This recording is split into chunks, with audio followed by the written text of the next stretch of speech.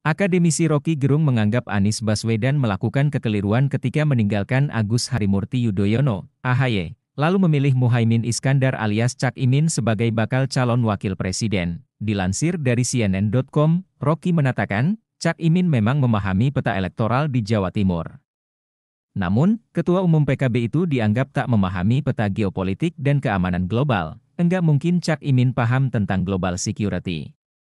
Dia paham Jawa Timur, tapi enggak paham Asia Pasifik, kata Rocky dalam diskusi di daerah Kuningan, Jakarta Selatan, Rabu 20 September kemarin. Menurut dia, keputusan Anies meninggalkan AHY dan Demokrat sebagai sebuah kesalahan. Rocky menganggap Anies telah meninggalkan sosok yang paham terhadap peta keamanan luar negeri. Padahal kemampuan itu sangat dibutuhkan Anies jika terpilih sebagai presiden pada Pilpres 2024, sebaliknya, Keputusan Anies meninggalkan AHY kini justru menimbulkan masalah baru.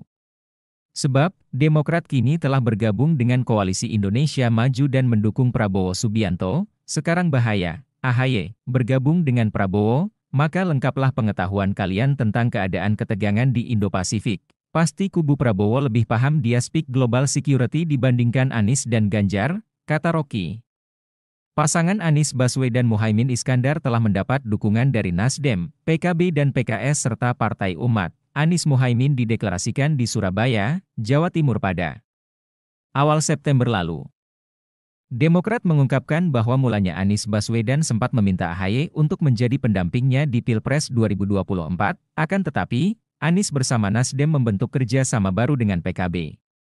Ketua Umum PKB Muhaimin Iskandar lantas didapuk menjadi bakal calon wakil presiden. Sementara itu Partai Demokrat memutuskan untuk keluar dari koalisi perubahan untuk persatuan. Kini Demokrat mendukung Prabowo Subianto tanpa syarat apa pun.